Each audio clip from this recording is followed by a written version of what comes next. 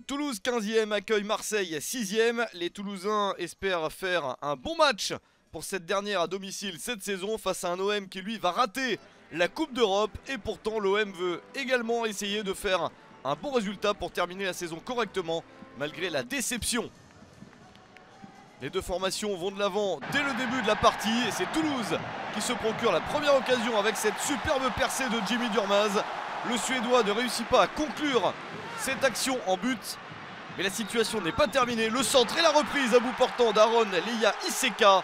26e minute, 1-0 pour le TFC. Quatrième but de la saison pour Leia Iseka. Toulouse a bien lancé son match. Très bonne situation pour les joueurs d'Alain Casanova, mais ceux de Rudy Garcia réagissent assez rapidement. Trois minutes plus tard, cette action est menée à son terme par Morgan Sanson. Un but partout à la 29e minute. Cinquième but de la saison pour Morgan Sanson. Le ballon est dévié par le défenseur japonais Jen Shoji. Pas de chance pour lui.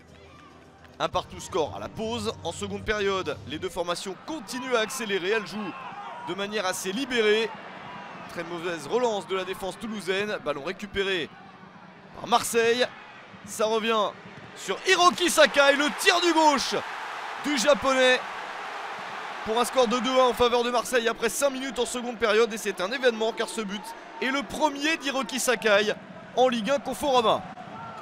Toulouse doit donc revenir, les Toulousains menés à 1-0 mais sont menés au score et ils égalisent assez rapidement à deux partout juste après l'heure de jeu grâce à Max Alain Gradel, le capitaine du TFC inscrit son 11e but de la saison, l'international ivoirien relance son club.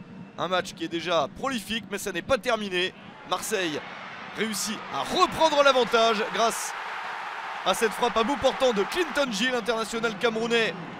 Permet à Marseille de mener 3-2 à un quart d'heure de la fin. Troisième but de la saison pour Clinton G qui venait d'entrer sur le terrain à la place de Valère Germain. Les Toulousains essayent une nouvelle fois de revenir dans le match, revenir à 3 partout. Mais ça n'est pas possible car Marseille réussit en contre à inscrire le but qui permet de se diriger vers la victoire. Le but du 4 à 2. Florian Thauvin à la 90e minute. 14e but de la saison pour Thauvin.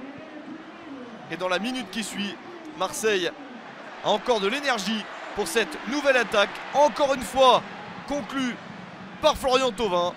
Un doublé en deux minutes pour Thauvin.